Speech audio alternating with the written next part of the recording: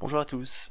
J'ai posté il y a quelques jours sur euh, les réseaux sociaux, Facebook et Twitter, un message euh, qui euh, disait que j'arrêtais ma carrière de graphiste parce que je vais me concentrer en fait dès à présent sur un, un nouveau projet qui va me prendre énormément de temps sur lequel je serai à temps plein, qui aura toujours un rapport avec l'image, mais je pourrais vous en parler d'ici peut-être un an, un petit peu plus d'un an peut-être, parce que ça va être un gros gros boulot. mais du coup, ça me demande de, de bah, d'arrêter ma carrière de freelance. Euh, je vais continuer à faire du, graphisme et du dev en même temps, mais euh, voilà, je pourrais en parler un petit peu plus tard. Et euh, du coup, bah, je me suis dit que quand j'avais un petit peu de temps, un petit peu de temps libre et que je pouvais faire une vidéo sur des vieux projets, enfin vieux, bon, ton, tant si vieux que ça, mais en tout cas euh, des projets que j'avais dans mes cartons sur lesquels j'ai utilisé des techniques particulières, bah ça pourrait être sympa parfois de faire euh, une petite vidéo pour expliquer quelle technique j'ai utilisé, quelle technique j'ai développé. Généralement c'est des, euh, des éléments sur lesquels j'ai fait pas mal de recherches pour arriver ou à une technique particulière d'un point de vue polygonal ou au niveau du rendu.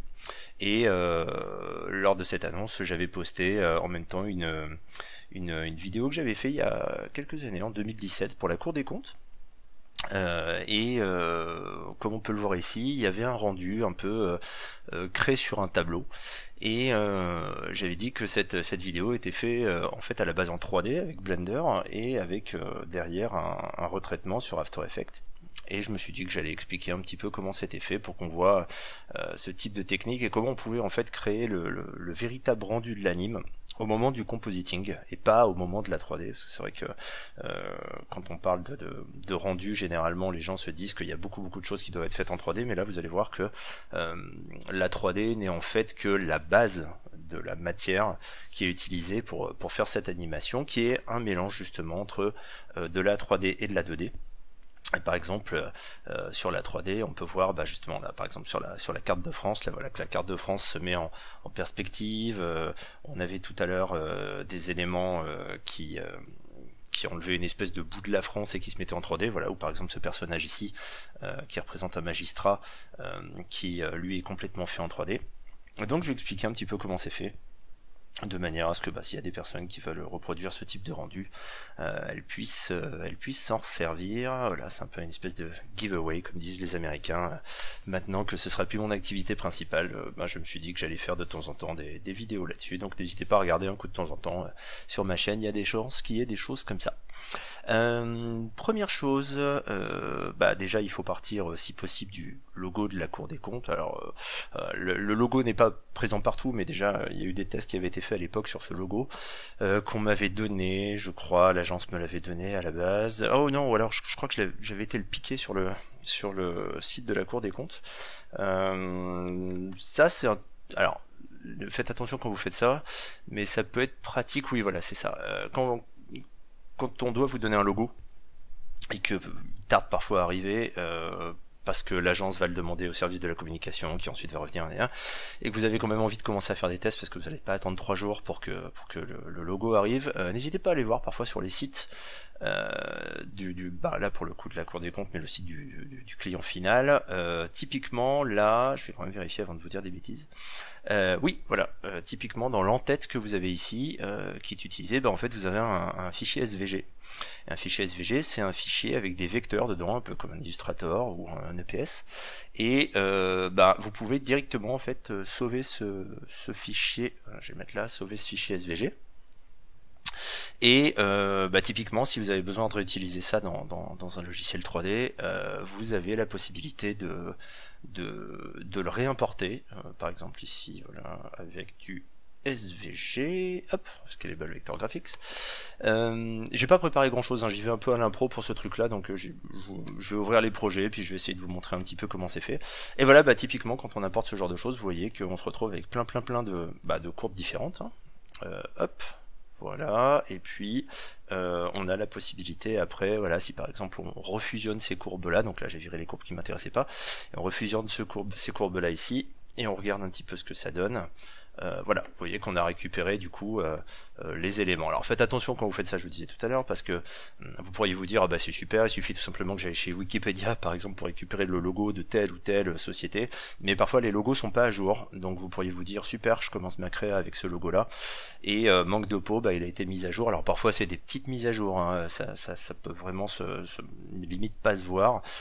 J'ai bossé pendant très très longtemps sur des campagnes pour euh, Disney, Fox, Universal et ce genre de choses. Et, pour les sorties de DVD ou de Blu-ray, ils avaient des, partenaires radio et les radios, c'est un des clients qui change son logo quasiment tous les deux mois. Euh, vous en rendez pas compte, mais ils rajoutent un petit filet autour ou alors ils ont bougé une petite virgule ou ce genre de choses. Donc euh, voilà, si vous commencez votre créa avec ça et que au final c'était pas le bon logo, bon bah vous allez le regretter. Mais là, bon, comme j'ai été directement le piquer sur le sur le site de la Cour des comptes, on peut espérer que le site est à jour on peut espérer en tout cas. Euh, et en fait, ben, pourquoi je vous disais que c'était complètement 3D Alors à l'époque, c'était fait avec Blender 2.70, euh, peut-être 7 ou 16, en tout cas une version de Blender euh, qui était antérieure à la version 2.8 qu'on connaît aujourd'hui, c'est-à-dire qui est celle-ci, mais c'est quelque chose qui pourrait être complètement répliqué de nos jours. Alors quand je vous dis que c'est que de la 3D, il faudrait que je regarde un peu.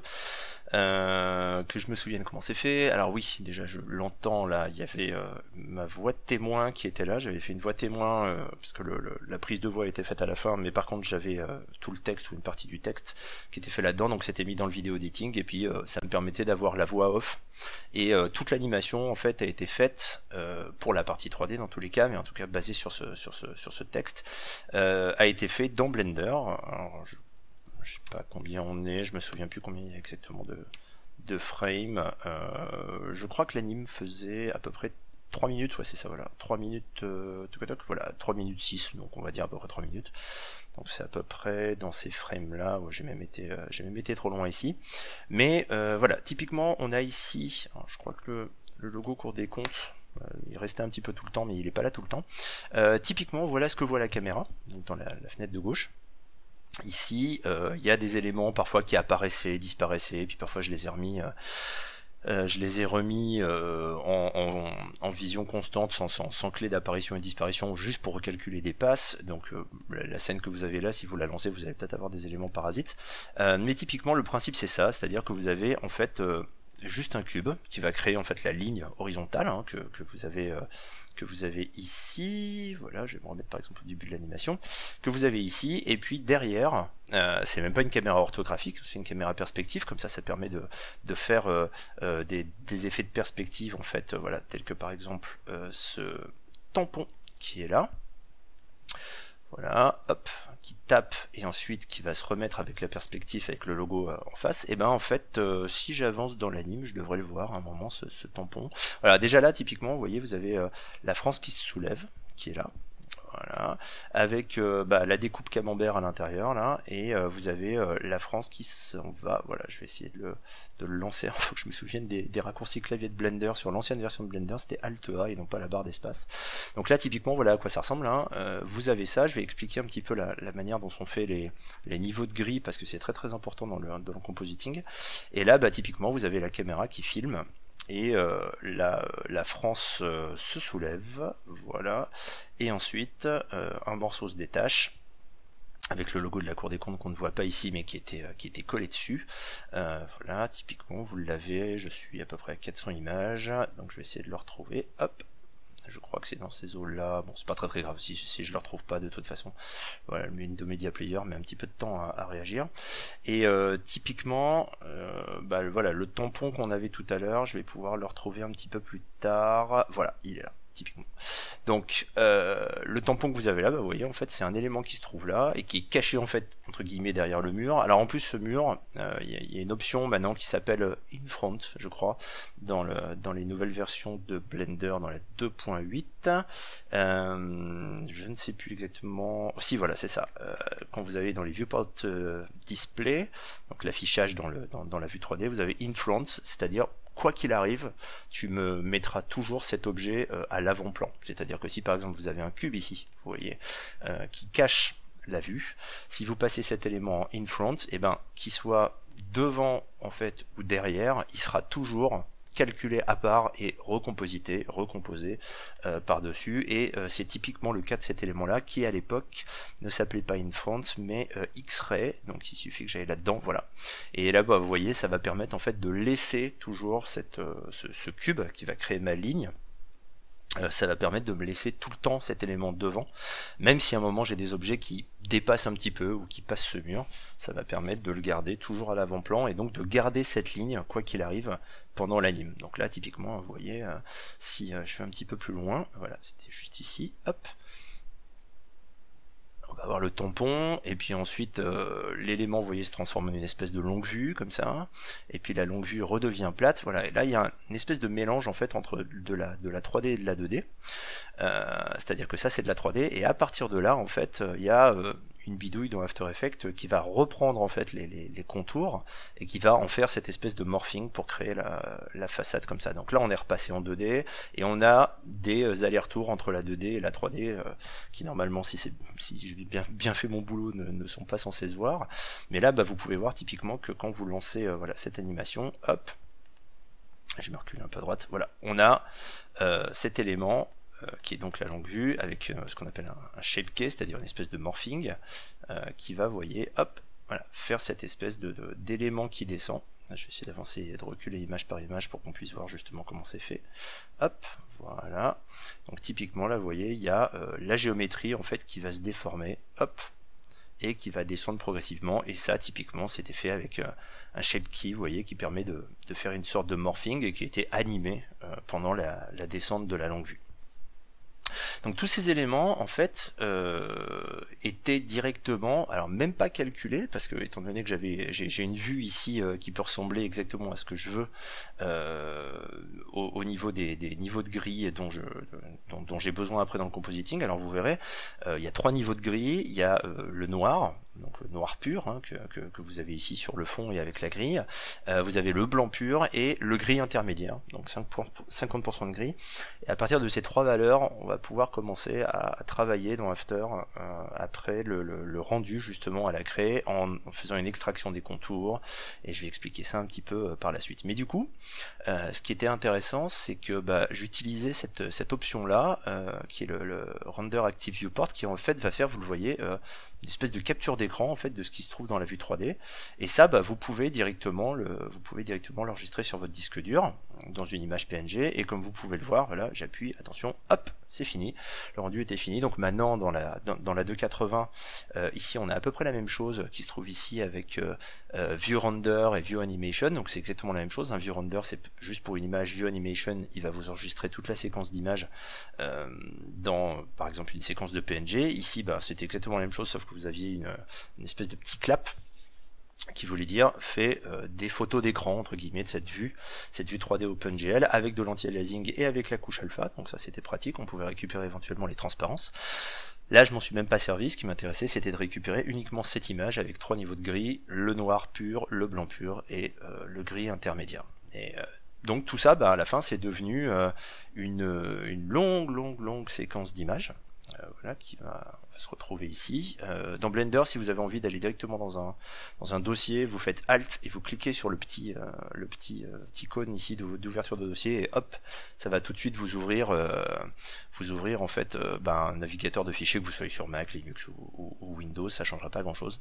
Et là, ben, vous pouvez voir que toute l'animation, en fait, les, les, les 3 minutes sont autant de petits fichiers PNG. Alors, ce qui est pratique, c'est que comme vous avez des longs, longs, longs, des longues zones, enfin des grandes zones euh, homogènes avec des pixels qui se ressemblent.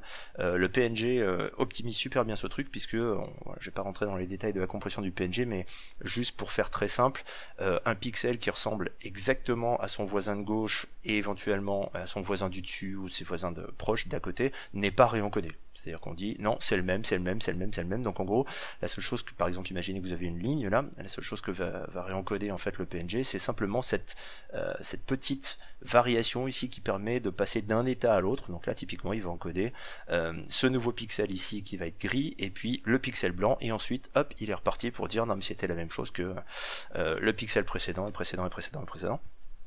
Donc du coup, bah, euh, sur des images comme ça, c'est super.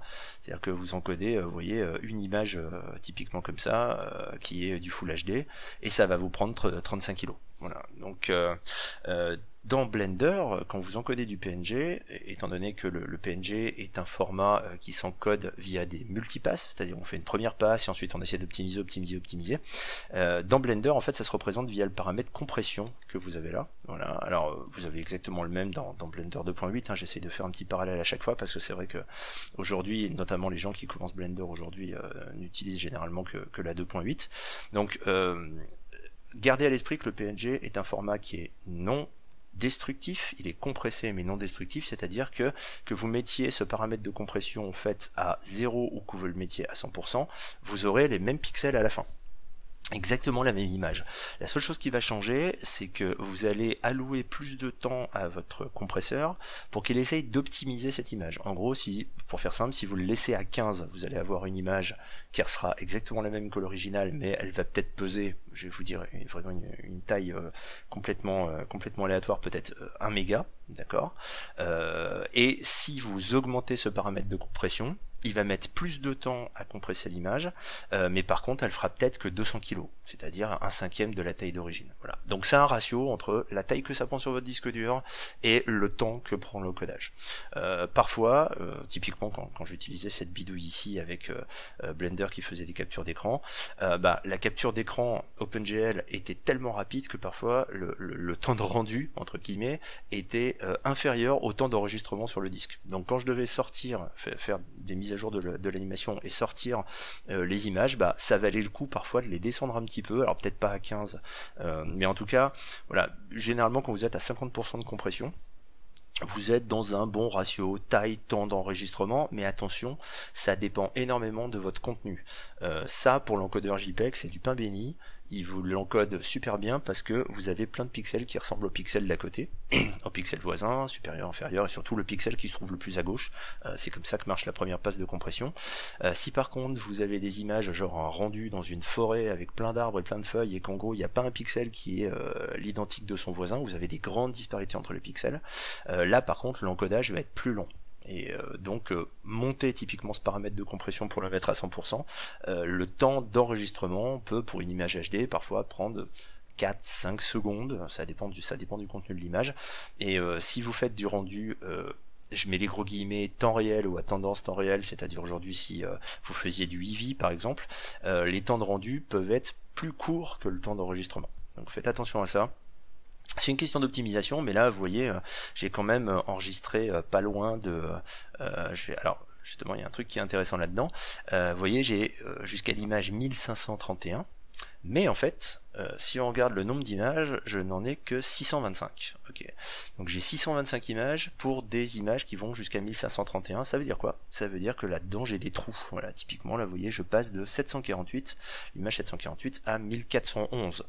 Euh, pourquoi euh, j'ai ce genre de choses? Tout simplement parce qu'il y a des parties de mon animation qui étaient parfois faites en pur 2D, donc dans After Effects, on va y revenir après, et euh, parfois certaines parties qui étaient faites en 3D. Donc je me suis pas embêté, j'ai directement sauté euh, des étapes, et donc il y a des trous dans mes séquences euh, d'animation.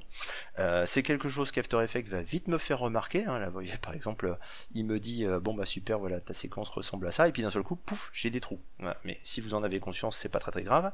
Ça vous permet, typiquement là, si je recrée une une nouvelle, euh, une nouvelle euh, composition et que je mets l'élément là-dedans, ça va me permettre, vous voyez, d'avoir euh, une séquence contiguë avec toute ma séquence d'animation. Donc après ce que je fais c'est que je redécoupe les morceaux euh, qui m'intéressent pas, enfin en tout cas les, morceaux qui sont missing file, donc les, éléments manquants.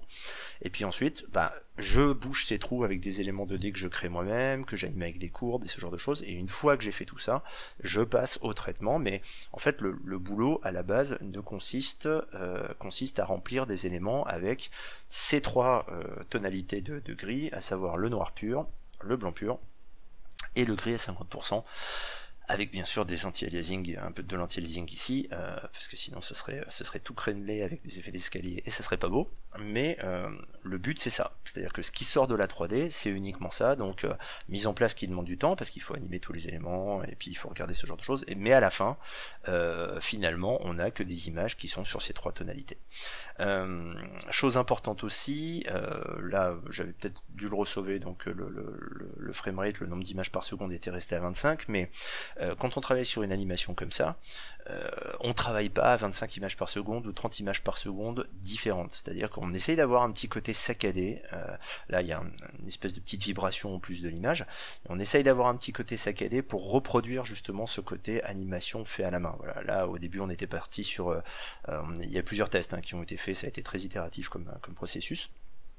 Euh, on a testé le crayon sur une feuille de papier, ce genre de choses, et puis finalement, comme euh, l'idée c'était de faire quelque chose de didactique, un petit peu comme ce qui se faisait quand les MOOC sont sortis, c'est-à-dire euh, le côté très dessiné à la main et ce genre de choses, bah, j'ai proposé cette, ce design basé sur de la craie qui serait sur le sur le sur le tableau, et c'est ça qui a été validé, donc on est parti là-dessus. Mais il y a eu plusieurs plusieurs plusieurs choses qui ont été testées avant. D'ailleurs, j'essaierai quand j'aurai un peu de temps de faire une série sur le, rendu directement NPR non photoréaliste euh, dans Blender avec des techniques similaires mais directement faites dans Blender. Euh, parce que j'ai utilisé aussi plein d'autres choses comme ça et ça peut ça, peut permettre de travailler euh, directement avec des, rendus qui ressemblent à ça mais directement fait en 3D sans même une phase de compositing. Alors ça, va moins loin que, que, ce genre de choses. En tout cas on a moins de latitude on va dire mais ça permet d'avoir des rendus directement en 3D voilà. Donc si j'ai un peu de temps j'essaierai de faire ça et donc bah, cette, cette séquence cette séquence qui est sortie directement de Blender avec des temps de rendu relativement rapides. Hein. Euh, il faudrait regarder les dates de création, mais je, je crois que j'étais quasiment à 4 ou 5 images par seconde, euh, enregistrement PNG compris, donc euh, en cas de réitération et de, de, de, changement dans le projet, ça permettait d'aller assez rapidement. Et ben je me voilà, je l'importe là-dedans.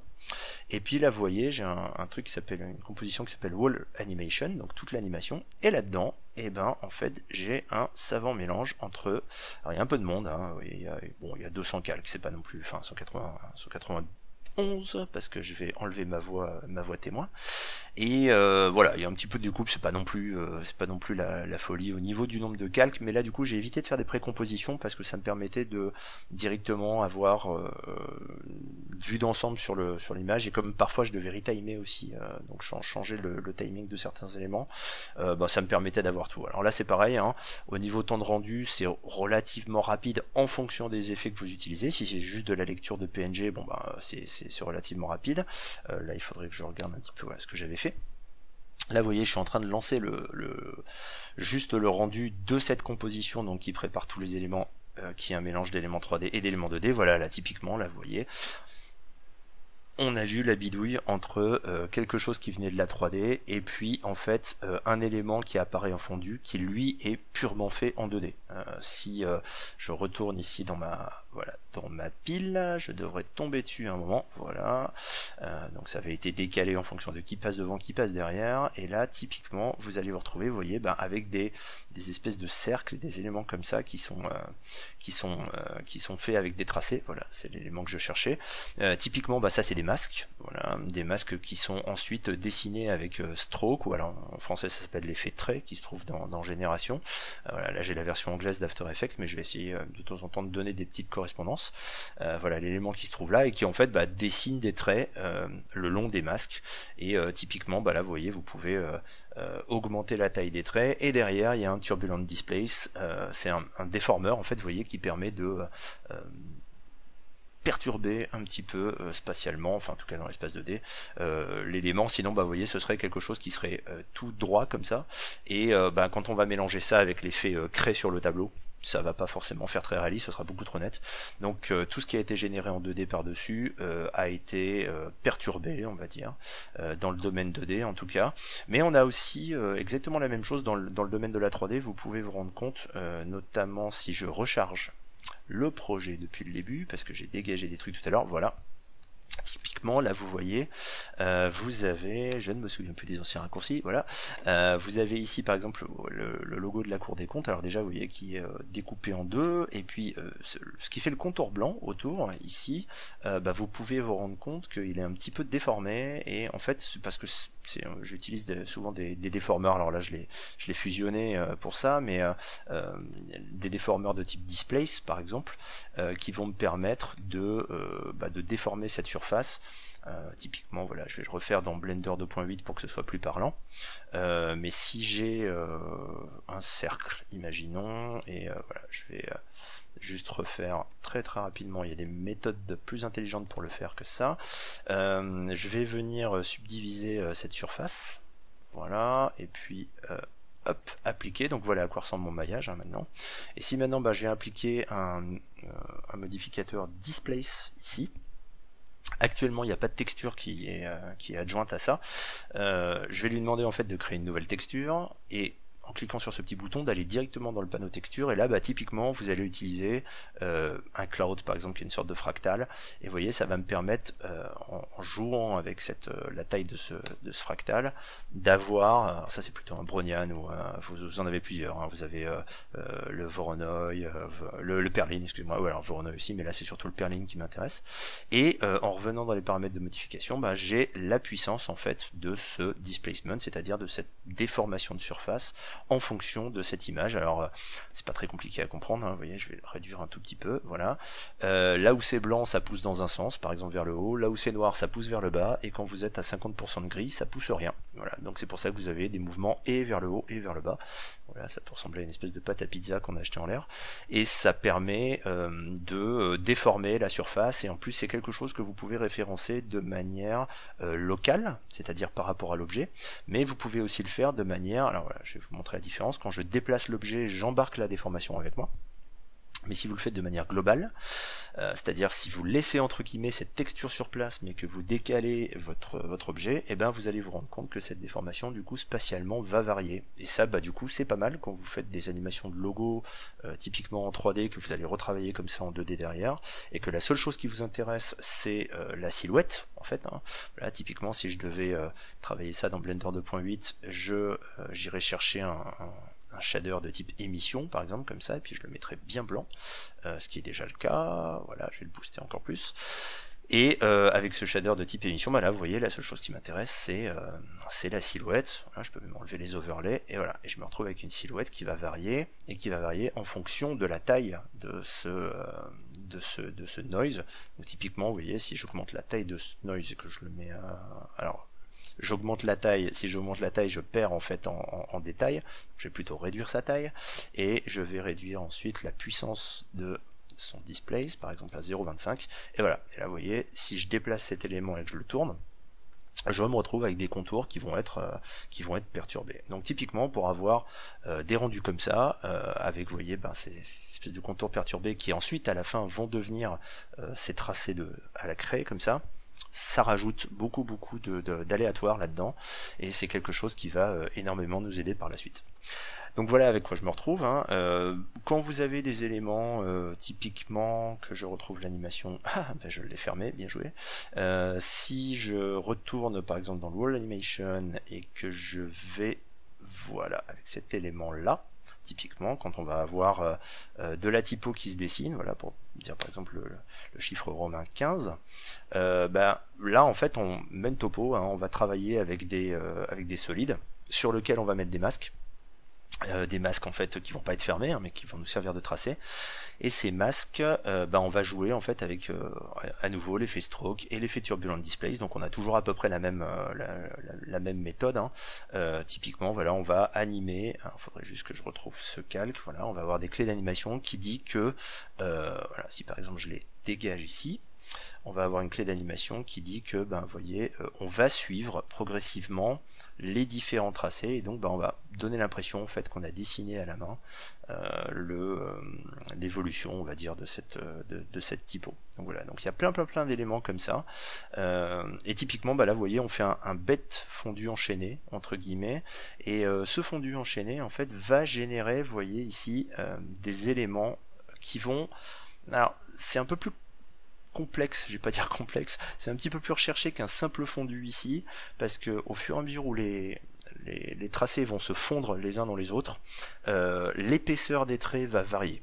Je vais vous expliquer après euh, ce qui produit ce genre de choses, parce qu'il y, a un petit setup euh, derrière, pas complexe, mais qui, m'a demandé un petit peu de recherche à, mettre en place.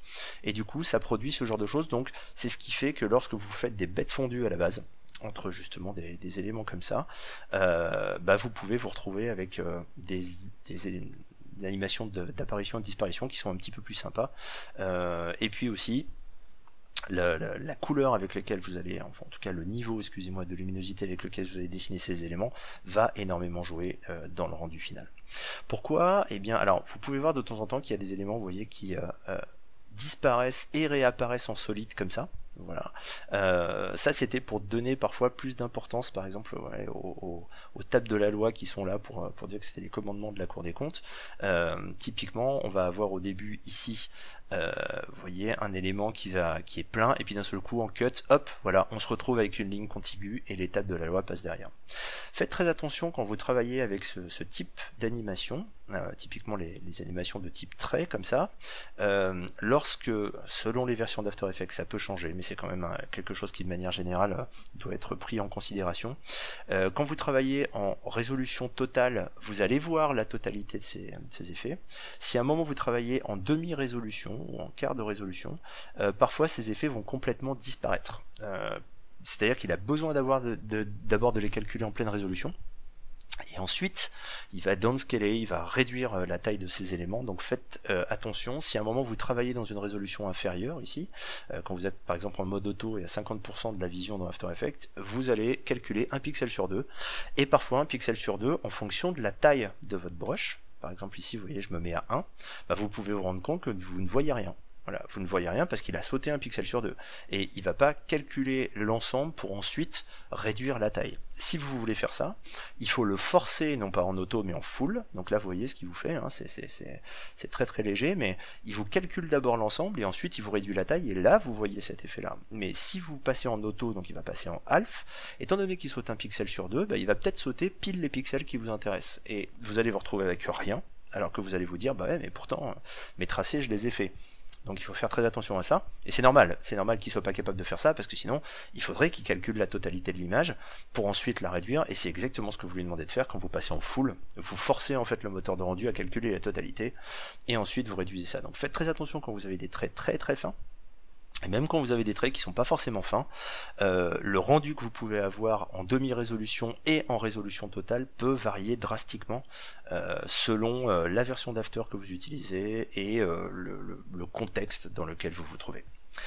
Donc une fois que vous avez réalisé tout ça, je vais remonter. Alors ça c'était la compte que j'avais fait tout à l'heure pour pour vous montrer un petit peu ce que contenait l'animation de base. Euh, je vais remonter progressivement dans les comptes, parce que là j'ai été vraiment euh, dans, la, plus profonde, on va dire. Voilà. Euh, donc j'ai un truc qui s'appelle Cutout.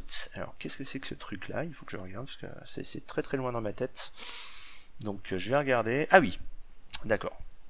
Alors dans Wall Animation, en fait, vous allez vous retrouver avec... Hop, je vais retourner ici, excusez-moi. Hop. Voilà, dans Wall Animation, vous avez effectivement euh, cette, euh, cet amas, on va dire, d'éléments 3D et euh, d'éléments 2D qui sont dessinés par-dessus. Voilà, typiquement, je peux revenir aussi sur cet élément-là qui est un mix des deux, hein, vous voyez. J'ai le logo de la Cour des comptes qui, à la base, est une extraction de la carte de France, si ma mémoire est bonne, c'est ça? Voilà. C'est une extraction qui vient se placer ici. Et par contre, tous les traits qui sont autour, ça, eh bien, c'est un solide avec un effet trait, faut que je le retrouve dans ma pile, voilà, d'où l'intérêt de bien ranger ces éléments et euh, bien les nommer. Pour le coup, là, je peux me permettre de le dire parce que ça s'appelle trait, donc c'est super. Et euh, bah ça, c'est pareil, c'est euh, un solide avec juste des tracés de masque et euh, voilà je vais le mettre en mode solo pour qu'on puisse bien voir ce que ça donne. Et euh, on a des animations sur les paramètres de début et de fin de ces tracés pour que ça vienne vous voyez hop se mettre ici. Et au niveau des points qui sont là euh, c'est absolument pas des ronds. Voilà qui sont là. Je vais juste les montrer afin qu'on puisse voir les tracés. Hop ils arrivent un petit peu plus tard. Voilà. C'est des petits tracés de rien du tout juste à deux points voilà, vous embêtez pas à faire des ronds parce que de toute façon, en fonction de l'épaisseur de vos éléments, euh, ça va vous donner, euh, ça va vous donner un rond. Voilà, en fonction de la brush size que, que, vous avez là, vous pouvez faire des ronds qui sont plus ou moins grands. Donc un, là, j'ai fait deux points de manière à ce que vous voyez, il y a un petit truc un petit peu progressif, voilà, qui monte comme ça et que ce soit pas quelque chose de trop clean. Encore une fois, le but du jeu, c'est d'avoir quelque chose qui est dessiné sur un tableau. Donc tout ce qu'on pourra casser dans le design un petit peu, on va le faire. Et là, bah, ça va me permettre, vous voyez, d'avoir des traits qui gonflent et puis hop, des points qui gonflent et ensuite en, en jouant sur le deuxième paramètre parce qu'il un paramètre euh, de début, donc avec le start et le end, euh, bah je remballe, je rembobine un petit peu mes traits, et voilà, et ça me permet ensuite de jouer sur le scale et de faire une transition avec ça. Voilà. Donc tous ces éléments, encore une fois, hein, trois, trois valeurs, blanc pur, noir pur et gris pur, eh ben, il n'y a pas de couche alpha pour l'instant là-dedans, parce que j'ai sorti mes PNG sans couche alpha, donc ça veut dire que ce qu'il y a derrière, là, vous voyez, c'est du noir, en fait. Il n'y a que du noir. Voilà. Si je regarde la couche alpha sur la totalité de l'animation, je me retrouve avec uniquement du blanc. Euh, il y a peut-être des décrochages un petit peu de, sens en mais en manière générale, c'est ça. Donc, ce que je fais, c'est que je prends cette animation, je crée un solide tout blanc, et je demande en fait euh, à ce solide de se référer ici dans les track math ou les euh, quelques par-approches en français de mémoire, euh, de faire un lumamate, c'est-à-dire de considérer que le blanc est un alpha à 100%, c'est-à-dire un alpha plein, et quand le noir est, euh, quand le noir est présent, l'alpha est vide. Donc c'est-à-dire que maintenant, si je regarde ici, j'ai fait des trous entre euh, là où c'était blanc, bah, c'est 100% opaque, là où c'était noir, c'est 100% transparent, mais j'ai aussi, vous voyez, un élément ici où je vais être semi-transparent voilà, qui est ici. Alors ça va pas bien se voir avec la, la nappe à carreaux qu'il y a derrière, là, mais un petit peu quand même. Et donc ces éléments vont être semi-transparents. Et c'est un, élément qui va être très très important euh, pour la suite. Si je remonte maintenant euh, d'un cran, euh, voilà, c'est là où on va avoir quelque chose qui est très très important, puisque à partir de cet élément-là, voilà, qui est là, je vais ici enlever la couche alpha, vous pouvez vous rendre compte que on a des éléments qui sont pleins, c'est-à-dire, euh, voilà, par exemple, le trait ici est plein et on n'a pas forcément de contour. Si on prenait un peu l'idée à l'illustrateur, c'est-à-dire entre le, contour et le, remplissage à l'intérieur. Et si maintenant on remonte dans la composition supérieure, on se rend compte que maintenant, c'est tout le contraire. On se retrouve avec quelque chose qui a des contours, d'accord, mais plus d'éléments pleins. Et au passage, on se rend compte qu'on a une espèce de, de truc un peu chamallow, chewing gum, c'est-à-dire que quelque chose qui était très net avant, ici, là, voilà, euh, avec des angles parfois un petit peu importants. Là, vous pouvez le voir par exemple ici, là, on a, on a carrément un angle droit. Quand je remonte d'un cran, euh, et eh ben en fait, vous voyez qu'on va se retrouver avec quelque chose qui est beaucoup plus euh, euh, beaucoup plus mixé de façon un peu chewing gum, hein, d'accord? C'est-à-dire que on a quelque chose de beaucoup plus diffus. Et ça, c'est créé avec deux calques qui se basent donc sur le, contenu de cet élément à l'intérieur. Hein. Euh, qui utilise le même effet, qui est le Simple Shocker, euh, qui est le dilaté érodé en français de mémoire, pas confondre avec le dilaté érodé répétitif, qui est euh, lui par contre en anglais, on va les avoir dans Mat, et ça va être du coup le Mat Shocker, voilà c'est Simple Shocker pour le dilaté érodé, et Mat Shocker pour le dilaté érodé répétitif. Ces traductions m'ont toujours fait bizarre, mais bon c'est comme ça. et là regardez bien, on a deux fois le même deux fois le même effet, sauf qu'il y en a un qui a une valeur négative et l'autre qui a une valeur positive. Et chose très très importante, c'est le mode de fusion qui a ici, qui fait en fait tout le tricks, toute l'astuce est là-dedans. Euh, donc ce que je vais faire, c'est que je vais cacher pour l'instant cet élément. Je vais le passer ici en mode euh, en mode normal et je vais juste passer le simple shocker euh, ici qui avait une valeur négative à moins 5 je vais le passer à 0 pour qu'on comprenne, bien ce qui se passe. Le but du simple shocker euh, c'est de repousser en fait la couche alpha de repousser l'élément de la couche alpha pour que il puisse euh, pour que la forme la silhouette de votre élément devienne plus gros ou au contraire plus fin voilà. Et quand vous faites ça, euh, donc là ici, je vais juste enlever le noir, j'ai un fond noir pour l'instant, je vais l'enlever. Donc regardez bien ce qui va se passer ici, je me retrouve avec du blanc, alors c'est pas très très visible, donc ce que je vais faire c'est que je vais juste rajouter voilà un remplissage rouge avant pour qu'on puisse bien voir ce que ça donne, puis en plus on verra en même temps les, les zones semi-transparentes. Le Simple Shocker, son boulot, c'est de dire que si vous lui donnez une valeur positive, vous allez en fait euh, repousser la couche alpha vers l'intérieur, c'est-à-dire qu'en gros vous allez affiner les éléments. Hein. Vous voyez là par exemple si je, le fais comme ça, je vais affiner cet élément-là. Et si vous le faites dans l'autre sens avec une valeur négative, vous faites une extension en fait de la couche alpha. La manière dont ça se passe à l'intérieur, c'est une sorte de flou avec un level sur l'alpha. Je vais pas rentrer dans les dans les détails, mais ce qui est important de comprendre, c'est qu'avec une valeur négative, vous rendez la silhouette plus épaisse. Et donc quelque chose qui avant avait des détails à l'intérieur, vous pouvez le voir ici, euh, notamment sur les zones semi-transparentes, ben, va complètement disparaître. Voilà, c'est-à-dire qu'à un moment il va y avoir un seuil où ça va complètement disparaître. Et si vous le faites de l'autre côté, ça va être complètement l'inverse, c'est-à-dire que quelque chose qui était semi-transparent va devenir complètement transparent, et quelque chose qui était épais va devenir beaucoup plus fin, jusqu'à ce que, euh, au final, les, euh, les branches que vous avez ici, entre guillemets, disparaissent. Si je le mets par exemple à 5, avec une valeur positive, vous pouvez vous rendre compte qu'il y a certaines parties des branches ici qui vont disparaître. Et l'astuce, euh, c'est de dire que, je vais me remettre ici en mode sans alpha. L'astuce, c'est de dire qu'on va avoir une version de cet élément avec euh, moins 5, c'est-à-dire que je vais épaissir en fait cette, euh, cette, cette, silhouette et du coup faire disparaître les zones qui étaient complètement à 50% de transparence pour en faire quelque chose d'opaque. Et de l'autre côté, je vais avoir exactement la même chose mais avec une valeur de 5, c'est-à-dire que là cette fois-ci je vais faire disparaître euh, des éléments parce que j'ai rogné dans le masque, j'ai bouffé à l'intérieur, et les zones qui étaient semi-transparentes sont devenues complètement transparentes. Donc maintenant j'ai quelque chose de très binaire, mais avec des zones qui sont différenciées. Voilà.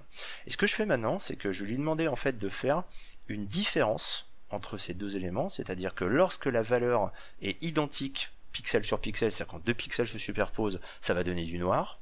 Lorsque les valeurs par contre sont, euh, sont pas identiques, il va en fait donner la valeur au pixel qui correspond à l'écart entre ces deux pixels. Donc si vous aviez un écart entre du blanc et du noir, bah, vous avez un écart maximal, c'est-à-dire que ça va vous donner du blanc. Si vous aviez du blanc et du blanc, ça va vous donner 0 parce que bah, du coup l'écart est minimal. Quand vous superposez du blanc avec du blanc, la différence entre les deux pixels vaut 0. Pareil quand vous superposez du noir et du noir, vous allez vous retrouver en fait avec du noir à la fin parce que la différence entre les deux est 0. Et là où ça va devenir intéressant, c'est quand vous vous retrouvez avec des zones qui étaient préalablement euh, semi-transparentes mais qui ne le sont plus, bah là vous allez vous, vous, allez réussir à récupérer une espèce de double contour. Donc là vous voyez vous avez le mode différence. Et là regardez bien, vous avez un contour en fait qui se produit entre les zones qui sont plus larges qu'avant et les zones qui sont plus réduites qu'avant. Typiquement pour bien s'en rendre compte, euh, regardez bien ici si je repasse en mode normal, voilà. Là, vous avez des zones qui sont très larges, parce que vous avez mis une valeur négative sur le cutout inférieur. Là, vous avez des zones qui sont beaucoup plus fines. Et regardez bien, par exemple, cette zone qui est ici, elle va être comparée à la zone qui est en dessous.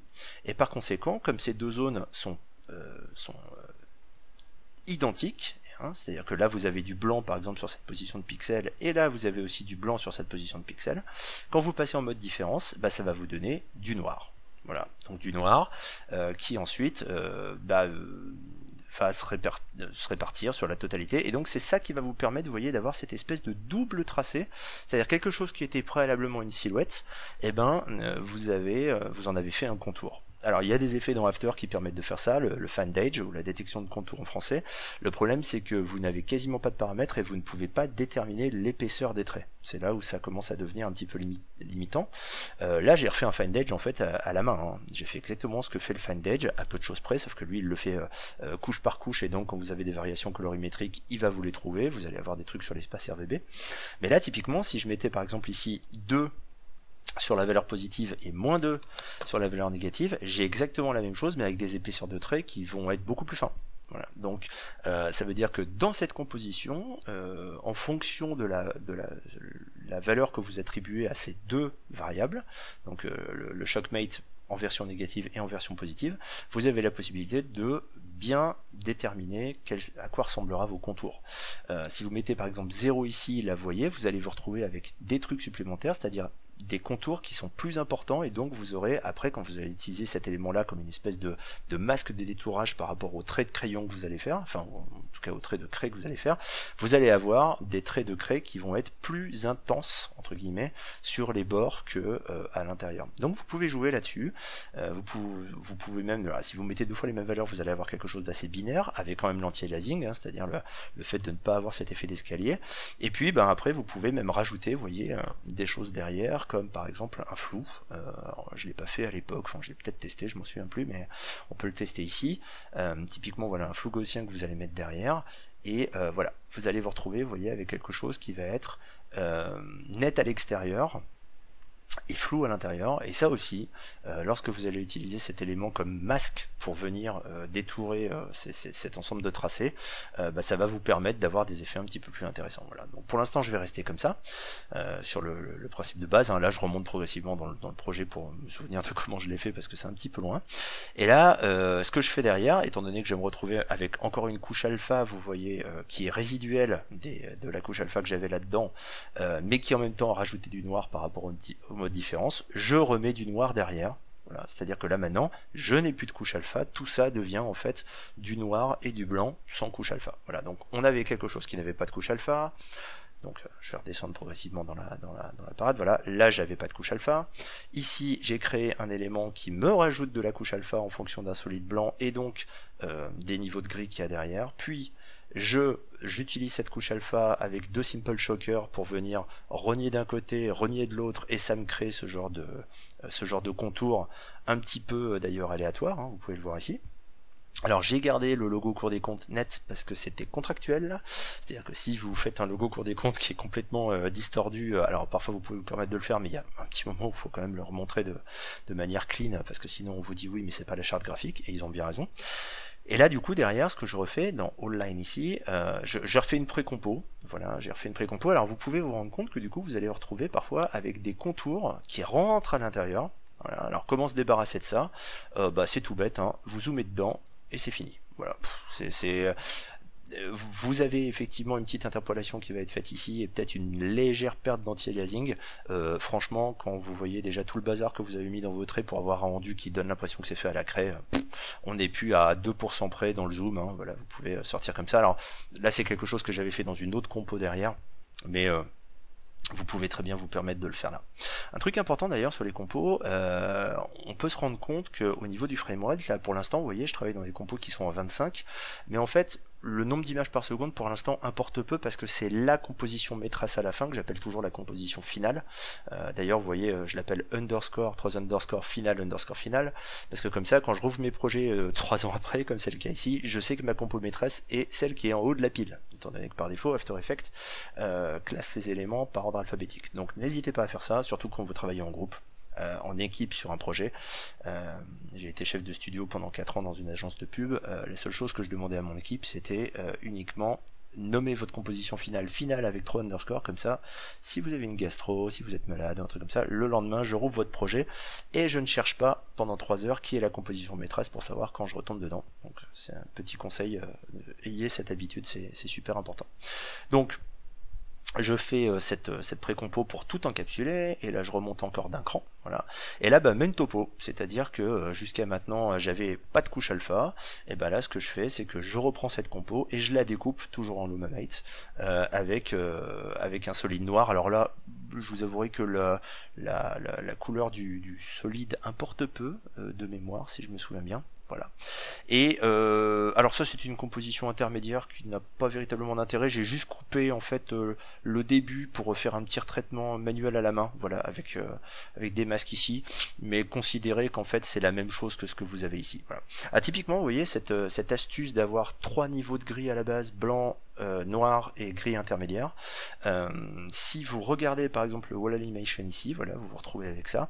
vous aviez du blanc, du gris et du noir et passer dans cette petite moulinette, bah vous voyez, ça vous donne des espèces de double contours comme ça.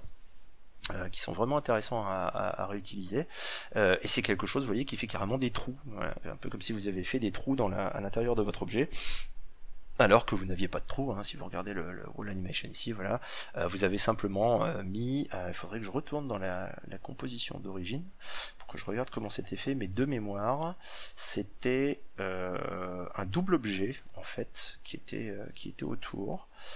Hop, je vais essayer quand même de pas vous raconter de bêtises, donc je vais aller vérifier. Tac, tac, tac, tac. Faut juste que je retrouve à peu près où je, où je me trouve. J'étais à l'image combien, là, d'ailleurs? J'étais à l'image... 67, si, si, euh, si petit que ça. Euh, donc ça veut dire que je devrais le trouver là. Ah voilà, bah, il est là, mais alors il y a plein de, il y a plein de trucs en plus qui sont autour. Hop, voilà, je vais essayer d'avancer, je recule un peu, voilà, c'est lui qui m'intéresse, et je vais regarder ce que c'est que cet objet ici. Voilà, vous voyez, euh, c'est un objet qui est ici, et je vais le mettre en mode solo. Voilà, il y avait les deux en fait, il y avait deux objets. J'aurais pu le faire avec un avec un Solidify ou un truc comme ça, mais je pense que à l'époque, je me suis pas pris la tête. Voilà. Donc c'est deux objets en fait qui sont les uns derrière les autres, un noir, voyez, et un qui est en gris ici, voilà, et qui sont animés euh, via un deform by curve. Ça veut dire que je dois avoir une, une, curve dans le coin là, une, courbe qui vient driver ce truc là, qui s'appelle NURBS Path apparemment hop, voilà, et qui est, ah oui, et effectivement, qui est là, vous voyez, euh, et qui vient déformer en fait mon, mon élément pour venir cocher la, la petite case euh, à ce moment-là. Donc une fois que j'ai tout ça, euh, voilà, je vais remonter progressivement, hop, voilà, je me retrouve avec ça, et encore ça, et je remonte encore d'un cran, donc voilà, c'est la, composition où j'ai coupé mon élément en deux. Et là, je me retrouve dans la composition finale, ça veut dire qu'on passe directement de ça, cet élément avec une couche alpha, à ça, c'est-à-dire avec euh, un rendu à la craie. Et la question c'est comment le rendu à la craie est fait. Alors pour y avoir 50 000 solutions, hein, euh, rendu procédural, euh, on a créé des traits avec des noise et des fractal noise, ensuite on les a on les a retouchés dans tous les sens. Oui, on pourrait faire ça, mais la plupart du temps, pour donner l'impression que c'est fait avec des traits de crayon, par exemple, bah, la meilleure solution c'est encore de prendre des traits de crayon. C'est-à-dire que j'ai pris une feuille et puis j'ai dessiné des traits de crayon dessus. Et euh, je crois que j'ai essayé de la cycler entre la gauche et la droite, mais j'en suis même pas sûr de mémoire. Et donc, bah, en fait, tout ce que vous avez fait jusqu'à maintenant, c'est préparer un masque pour euh, laisser euh, apparaître ces traits de crayon, puisque quand vous regardez ici là-dedans, vous avez un truc qui s'appelle voilà pencil texture, donc texture de, crayon. Et si j'enlève le, le track mat ici, qui permet de dire que ce trait de crayon est découpé par, euh, par cet élément-là, et eh ben en fait vous vous rendez compte que c'est juste ça. Voilà, j'ai enlevé ça. Typiquement un repeat tile. Alors le but du repeat tile c'est de, euh, de, de recopier en fait les images autour, histoire d'avoir une image plus grande. Comme ça j'avais même pas même pas besoin de zoomer dedans. Ah oui, et alors j'ai pas eu besoin de le de le cycler parce que le repeat tile a une option qui s'appelle unfold. Alors vous voyez si vous faites un repeat, vous voyez les euh, les séparations entre les entre cette texture qui est répétée, mais vous avez une option là-dedans qui s'appelle unfold euh, qui en fait va faire des flips, euh, des miroirs, en fait des effets miroirs entre les textures, euh, qui du coup font disparaître ces, euh, ces, coutures entre guillemets. Et donc bah vous voyez, si je regarde uniquement cet élément-là, hein, je vais le mettre en mode. Alors puis après j'ai un level pour rendre ça un petit peu plus contrasté, voilà, parce que quand j'ai scanné ma feuille de papier, c'était c'était pas assez contrasté. bah je me retrouve avec ça et vous pouvez voir que ça bouge pas en fait. Euh, et la seule chose qui fait que bah, ça ressemble après euh, à ce que vous avez fait préalablement, bah, c'est simplement un alpha mate, c'est-à-dire je demande à ce que cet élément soit découpé par la couche alpha de ce qui est au-dessus, et je me retrouve avec ça. Voilà. Alors j'aurais pu faire bouger entre guillemets euh, cet élément. D'ailleurs initialement je l'avais fait. Euh, c'est-à-dire que là vous pouvez voir que les, traits de craie qui se trouvent par exemple à cet endroit-là dans le logo euh, ne bougent pas dans le temps. Alors il y a une très légère déformation, vous voyez, de, de, de, de l'ensemble qui est fait avec un turbulent displace. Hein. Le but du turbulent displace, vous voyez, c'est de, de on l'a utilisé tout à l'heure hein, sur, les traits, euh, euh, notamment qui représentaient l'hémicycle au début avec les masques. Euh, je pourrais l'augmenter, vous voyez, pour avoir quelque chose qui est encore plus, encore plus en bazar. Mais là, on a l'impression qu'il y a quelqu'un qui a éternué devant le tableau. Donc, ce, ce truc-là est là pour perturber légèrement, et cet élément est animé dans le temps. On peut le voir ici avec une courbe d'évolution. C'est ce qui donne l'impression, en fait, que dans le temps, ça va se, voilà, ça, ça se déplace pas, enfin en tout cas le contour se déplace pas, mais le, les, la géométrie des bords, on va dire en tout cas des traits, change à chaque image. Voilà. D'ailleurs important maintenant, vous pouvez voir que Là j'étais à 16 images par seconde parce qu'il fallait quand même que je gagne, euh, je garde une certaine fluidité, mais vous pourriez descendre à 12 images par seconde ou 8 images par seconde, ça changerait pas grand chose. Euh, d'ailleurs là, pour le coup, je savais pas exactement à combien j'allais descendre euh, à la fin, donc c'est la raison pour laquelle j'ai tout sorti ici à, 25 images par seconde. Mais bon, vu la rapidité de rendu euh, que j'avais à l'époque là-dessus, hein, je vous le rappelle que c'est juste en fait des, des, captures d'écran OpenGL, pouf, qui sont faits et c'est fini. Vous voyez, je pouvais me permettre de les sortir à 25 25 FPS et puis finalement oublier quasiment une image sur trois. C'était pas très très grave. Hein. Franchement, euh, c'était pas là que je pouvais véritablement gagner du temps, mais pensez à ça. Hein. ayez un nombre de, de nombre d'images par seconde qui soit utile par rapport à ça, euh, ce sera toujours pratique. Euh, et puis bah du coup, euh, la chose que j'avais fait initialement, c'était justement faire bouger cet élément. Là, vous voyez, vous êtes en train uniquement de regarder l'élément qui est là. Le tableau, bah, c'est juste une, bête image de tableau, hein, voilà, qui est là et qui elle ne bouge pas. On pourrait aussi la, la, bouger. Initialement, j'avais fait un truc où le, on avait l'impression qu'il y avait des, des traces de brosse qui venaient effacer les, les tracés précédents. J'étais allé jusque là vraiment pour qu'on ait vraiment l'impression que ça, change à chaque image, mais euh, ça rajoutait beaucoup d'éléments perturbateurs et ça, nuisait quand même beaucoup à la lisibilité euh, du discours en tout cas. Et, euh, et un autre truc qui en tout cas ne plaisait pas. Moi, je, trouvais personnellement que ça, ça, rajoutait un petit truc, mais quelque chose qui plaisait pas aux au clients, c'était le fait que justement ce contour bouge à chaque image. Alors typiquement, comment on ferait ça? Euh, bah, puisque vous avez répété en fait, alors pas à l'infini, mais avec un, nombre quand même important, vous voyez euh, cette texture autour. Hein, c'est le but du repeatile, c'est d'étendre en fait euh, l'image au-delà, notamment des bords de la composition. Enfin, là, en tout cas, je l'ai utilisé pour ça. Hein. vous voyez que là, une image qui faisait 900 à la base, bon bah, elle fait 1600, donc ça veut dire qu'elle est deux fois plus grande, et donc par conséquent, quelque chose qui ne remplissait pas l'écran à la base, bah, remplit l'écran ici. Mais je pourrais très bien le pousser encore plus loin. Hein. bah là, par exemple, on peut utiliser une expression du type wiggle. Euh, le wiggle, euh, son, boulot, c'est qu'avec une certaine fréquence, donc voilà, j'ai appuyé sur euh, Alt clic et euh, ça m'a permis de, rajouter une composition. Et là, typiquement, moi, je vais lui dire que c'est un wiggle. Alors, de mémoire, il y a deux paramètres. C'est euh, le nombre de fois par seconde, quel que soit le framerate. Hein, là, ça, ça, changera pas si vous êtes à 16 images secondes, 20, 10, 8. et la, la valeur maximale qui va s'ajouter aux valeurs courantes. C'est une valeur qui est relative. Par exemple, ici, si je lui dis 350, ça veut dire quoi? Ça veut dire que deux fois par seconde, euh, il va choisir une valeur entre moins 350 et plus 350 et il va venir l'ajouter à la position courante qui est la position de votre votre calque à la base. Donc typiquement si je regarde ce que ça donne ici, euh, bah vous voyez ça va venir euh, déplacer l'élément. Alors par défaut c'est pas quelque chose qui est stepped, hein, c'est-à-dire une animation qui est saccadée, mais il fait des espèces d'interpolation en fait. Mais vous voyez si par exemple je me base sur quelque chose qui serait un petit peu plus un petit peu plus violent, psychédélique. Euh, si je le mets ici par exemple à 16 images secondes, on peut rajouter des éléments dans l'expression pour que ce soit justement beaucoup plus saccadé, qu'on change pas. Euh, voilà avec quoi je me retrouve. Donc là, vous voyez, en fonction de la, la, puissance, on va dire, enfin en tout cas la, valeur que vous allez mettre ici, euh, là par exemple, je vais bouger que de hop, voilà, 15 pixels par rapport à la position d'origine. Donc quelque chose, vous voyez, qui bouge un petit peu, mais si vous le déplaciez, euh, déplaciez pardon, image par image dans le masque, vous verriez pas forcément la, différence. Donc du coup, ce que je vais faire, c'est que je vais le placer par exemple à 450, euh, histoire d'avoir des mouvements assez violents. Faites attention quand même, euh, je vous rappelle que le repeat n'a fait que répéter deux fois la taille de, l'élément d'origine. Donc vous pouvez vous retrouver typiquement, vous voyez, si je le mets à, à 1450, je vais me retrouver voilà avec l'image qui parfois sort de l'écran. Donc vous perdriez en fait cette espèce d'effet crayonné. Et puis euh, je vais typiquement faire la même chose sur la rotation. Voilà, c'est-à-dire que je vais lui dire que donc j'ai fait un copier-coller de l'expression. Euh, par contre, je vais pas lui dire que c'est 450 degrés. Je vais lui dire que c'est hum, par exemple 120 degrés. Donc ce sera entre plus 120 euh, degrés et moins 120 degrés. Donc là, typiquement, vous voyez, vous avez on a même l'impression qu'il y a du flou de mouvement, du motion blur. Euh, et là, bah, vous pouvez voir par exemple que l'image de temps en temps sort de l'écran parce que c'est un petit peu violent. C'est pas très très grave, hein. il suffit dans ces cas-là euh, simplement de rajouter par exemple plus 900 et plus 900 et du coup euh, bah, l'image est un petit peu plus grande. Voilà, c'est pas encore assez grand parce que j'ai été assez violent là-dessus. Mais surtout, ce qui est intéressant, c'est de voir ce que ça rajoute, ou au contraire, ce que ça, ce que ça vient enlever à la, à la lecture, on va dire, de de, de l'élément de base. Voilà, typiquement ici. Voilà, là on peut voir notamment pendant le calcul parce que c'est beaucoup plus lent, qu'à chaque image, euh, vous avez un tracé à l'intérieur de cette, de cette silhouette qui est différent.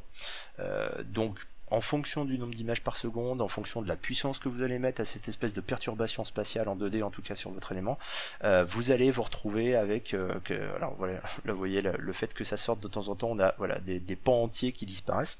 Euh, ça peut être sympa d'ailleurs hein, si on a envie parfois d'avoir des traits dont un petit morceau disparaît, on peut venir compenser ça avec un contre-masque, avec un turbulent display qui serait seuillé ou ce genre de choses. Il y a plein plein de choses à faire.